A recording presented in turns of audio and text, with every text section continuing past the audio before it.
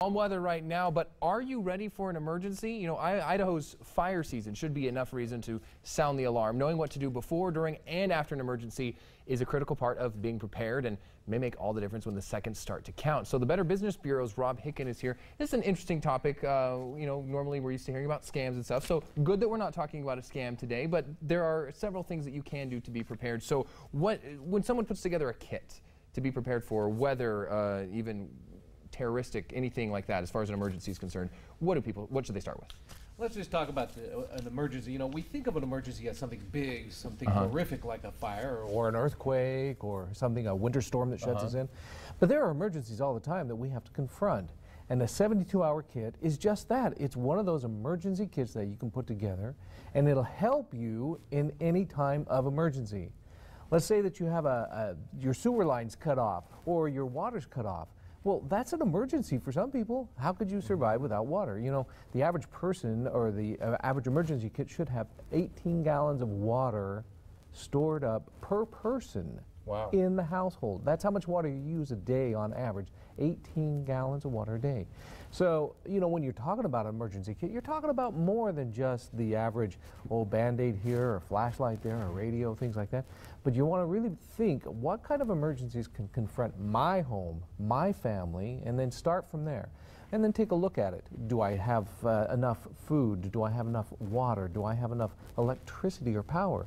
Something to cook on. Uh, what happens when uh, there is an emergency and we have to evacuate the house?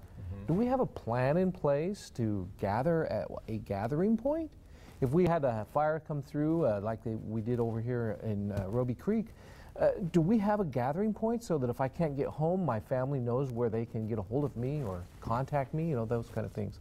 So it's more than just a 72-hour kit. It's it's making a whole plan and being prepared so that you can be reunited with family and survive any kind of a catastrophe that comes along. And of course, catering to any geographic location that you may be in. Some places are more prone to tornadoes, which aren't really much of a problem here in Idaho, but fires, snowstorms in other places. So something to be aware of there. And so back to those kits. So you said, of course, it's more than you know, band-aid here, flashlight there. What are things that we? You mentioned the 18 gallons of water per person. Where else do we go from there as far as those kits are concerned? Uh, uh, you should always have some batteries and a radio and a flashlight on hand. Okay. Uh, you, if you can't hear what's going on around the community, how can you be aware of what's available to you once you get out of this emergency?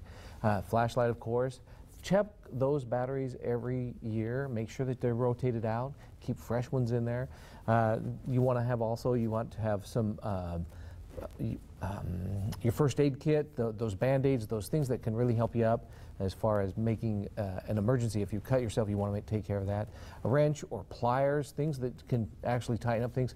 You know, a lot of people think about their gas meter. You need a wrench to turn that thing off, or else the gas is going to leak out and stuff like that. So, just be, you know, some general items that you need in order to survive is, is what we're suggesting. And one thing that I would add in there, my, my family and I have tried to put together one, and if you put it in, I, we have a duffel bag with wheels on it, can roll right out of the house into your car if you have to take off or whatever. So just a thought there, making Absolutely. it more mobile for you to carry around. So definitely good things to think about. Glad that it's not a scam warning this morning from the Better Business Bureau. Thanks so much for joining us, Yes. Robb.